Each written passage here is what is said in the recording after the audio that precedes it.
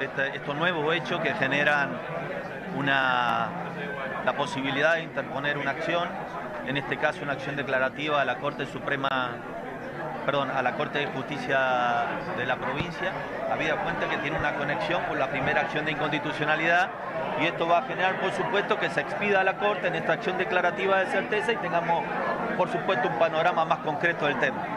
¿Qué- ¿Cómo ve la situación de Rivadavia, de lo que ocurrió con Ya esto es un tema que me parece que es fundamental lo que te decía. Hoy vamos a hablar de lo que sucede en esto y después hablaremos en otro momento de la situación de, de otro municipio. Dado a lo que ha pasado en otras, pues justamente en Santa Cruz y en Formosa, eh, piensan que la y piensan que la Corte Suprema va a va a poder eh, responder a ustedes con lo que es su pedido. Yo estoy convencido que lamentablemente esto tiene una gravedad institucional. ¿Por qué?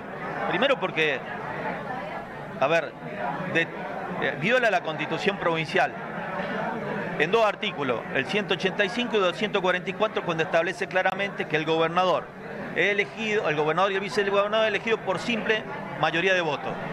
Y en el otro caso el que tiene que ver con la posibilidad de que los intendentes, dice la constitución, tienen que ser elegidos por simple pluralidad de sufragio. Es decir, vos votás a Juan y terminás votando a Juan. No votás a Juan y terminás votando a Pedro porque es parte de un lema y es el que más votos sacó. La ley de lema redirecciona su voto. Entonces lastima tu voluntad. Vos vas a votar a Juan, pero no, no terminás votando a Juan, terminás votando a, un concepto. Y la verdad que así no es la democracia, la deforma.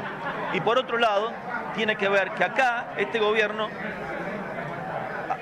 mandó a, a- a lo- a los diputados modificar una ley que es muy clara, que fue la 613N, que establece que 18 meses antes de una elección no se puede modificar el sistema electoral.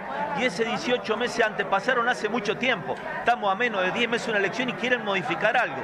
Y en caso de que se modifique eso, nunca podría eh, eh, ser con, eh, con efecto retroactivo, debe ser con efecto irretroactivo como cualquier ley. Debería regir para el año 2027, nunca para el año 2023. Arancibia habló de que si no prospera todo esto, van a unirse para poder estamos hablando de un tema técnico y yo estoy convencido que la oposición tiene que tener una mirada de unión, de consenso, de generar política a futuro. Para eso la voluntad está puesta, las ganas y veremos, si Dios quiere, si se puede dar para que, para que los sanjuaninos tengan una oferta electoral mucho más, este, digamos, importante en cuanto a su fuerza. ¿no? ¿Esta presentación cuándo se hace? Nosotros